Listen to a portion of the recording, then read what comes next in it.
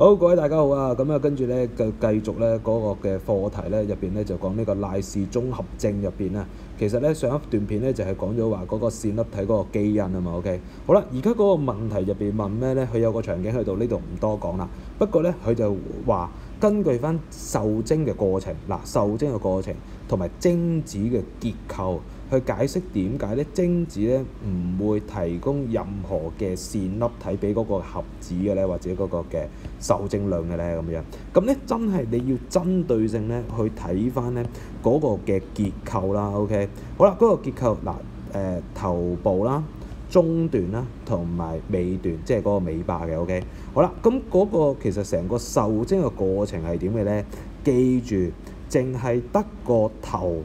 OK，淨係得個含有細胞核嘅精子嘅頭部進入卵子。嗱，其實咧好多時點解同學攞唔到分咧？個原因咧，佢就係寫精子嘅頭部。咁你淨係寫精子嘅頭部咧，其實咧未必有分嘅。你一定要寫張清楚，精子嘅頭部有啲咩咧？精子嘅頭部入邊係有個細胞核，係個細胞核嘅精子頭部進入去個卵子 only 嘅啫。OK，所以咧好似下邊幅圖咁樣。但係咧，線粒體嘅精子嘅中段咧係冇進入去個卵子度噶嘛，所以隔離幅圖咁樣。所以咧，當你去寫嗰時候咧，記得寫翻清楚，唔好淨係寫中段咁簡單。你真係要寫到啊，究竟嗰個部分入邊究竟有啲咩嘢嘅咧？OK，咁你先能夠攞到分數嘅。所以其實我諗好多時咧，同學咧係都會答到條問題嘅。但係個問題點解答咗之後又攞唔到分呢？咁樣樣個原因就係因為佢寫得唔夠仔細啊！呢樣嘢你要留意嘅，OK。好啦，跟住咧去到最後一題喎。其實最後一題咧好簡單嘅啫，五十 percent 嘅同學咧都會攞晒嗰個分數嘅。但係咧，其實咧我就睇落去咧，其實咧呢個技術入邊咧，其實咧二零一六年咧就應該有㗎啦。但係呢條題目咧係二零一八年嘅，OK。二零一六年咧，所以咧當你去準備未來嘅考試嗰時候咧，記得留意翻咧。有關生物學嘅新聞啊，其實落到咧用你學過嘅生物知識，你都能夠解到嘅。OK，當中咧入邊咧就有三個人啦。咁 A 咧就係捐贈者，B 咧就係嗰個嘅患者，而 C 咧就係患者嗰個丈夫。個做法係點樣樣咧？首先第一樣嘢咧，個捐贈者入邊咧，我淨係要佢嗰個細胞嘅嘢，OK。但係唔需要佢嗰個嘅細胞核入邊個卵子，OK。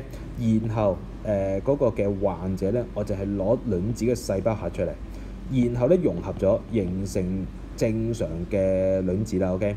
好啦，然後同個患者嘅丈夫嘅精子咧受精作用結合形成盒子啦，OK。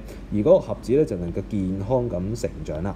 咁咧題目就問你啦，啊嗰、個健康嘅 BB 入邊咧，其實嗰個嘅細胞核嘅 DNA 源於邊度咧？就係、紅色同藍色咯，OK，就係 B 同埋 C 啦。好啦，而嗰個線粒體源於邊個嘅？就係、係、源於 A 咯。因為其實如果你睇翻個題目嘅場景入邊咧，佢就話俾你聽一樣嘢，就係嗰個嘅線粒體。O.K. 媽媽嗰個嘅細胞入邊嘅線粒體個 D.N.A. 基因突變啊嘛，所以我淨係抽佢嗰個嘅細胞核出嚟嘅啫。O.K.